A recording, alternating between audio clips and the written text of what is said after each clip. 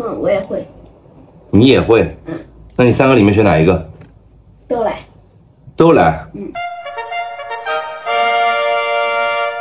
在一个风和日丽的小明想吃只牛蛙，爸爸同意了他去超市买牛蛙。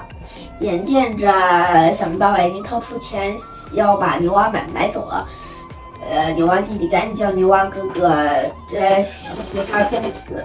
是哪个牛蛙弟弟？这这个飘起来牛蛙弟弟，这个在底下的牛蛙哥哥。啊。牛蛙弟弟说。只要把鼻子露在，他对牛蛙哥哥说：“只要把鼻子露在水外面就可以呼吸了。”牛蛙哥哥说：“你傻呀，你你装死，老板越越来越会想，哎呀，这只牛蛙都死了，都死了，都死了，都死了，呃，卖卖给别人吧，卖给别人吧。”呃，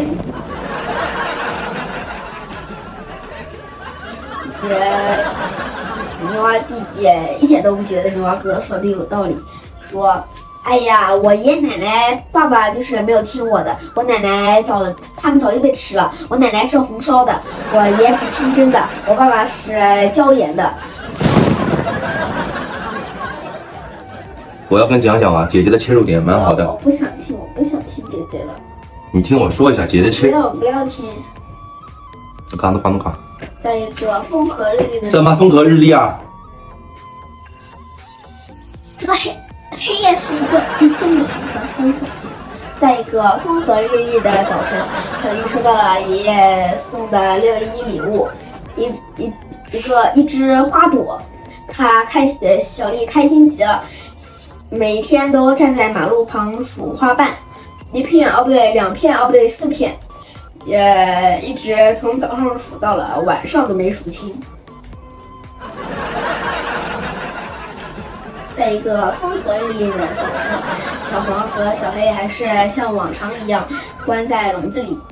小黑叫小黄快看，快来快看，我们的好朋友小兔兔已经被人当做六一个礼物买走了。小黄说：“切，那你怎么没没有被马特啦？”小黑委屈的说：“ 人家人家，呃，人家嫌弃我脏，我是德比雪。”呃，德比雪，好吧，德比雪。小小黄小黄刚，你不要吓我！连忙退了几步，问小黑：“头皮屑会传染吗？”小黑说：“你傻呀！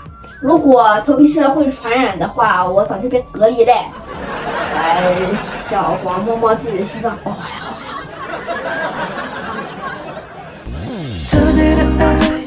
特别的你，我的寂。